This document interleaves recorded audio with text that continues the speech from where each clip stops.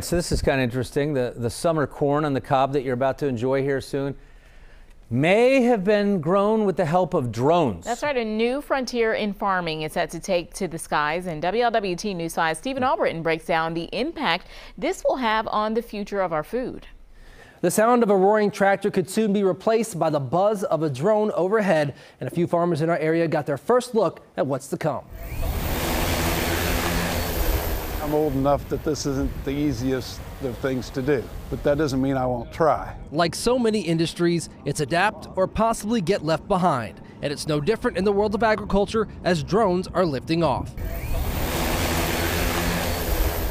As I was looking for ways to kind of better treat my own crop and my own land, uh, I started using drones early, uh, early on. Kurt George, vice president of Hylio, a Texas-based agricultural drone manufacturer, sees firsthand how drones will benefit farmers.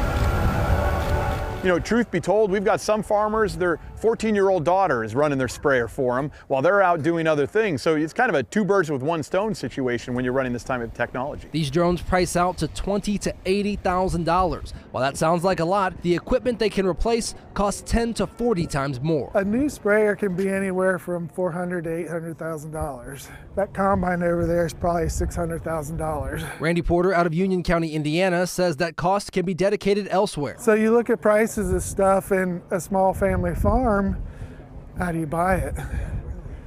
Land prices in the last few years have gone from six to seven thousand dollars an acre to fifteen to twenty thousand dollars an acre. From spot treating crops or getting to hard to reach places, or maybe the crop is too tall or the ground too wet, the convenience factor adds up. Dale Gilliland out of Richmond, Indiana, as they say, time is money. If I call for an airplane, I might come tomorrow, he might come in two or three weeks. It's a time sensitive problem. If I have a drone, as long as I can waddle out to the field and get going, I can have it sprayed when I want right now. Food isn't made in the back of Kroger's. It's made out here in the field. And I'm trying to provide reasonable, safe product for everybody.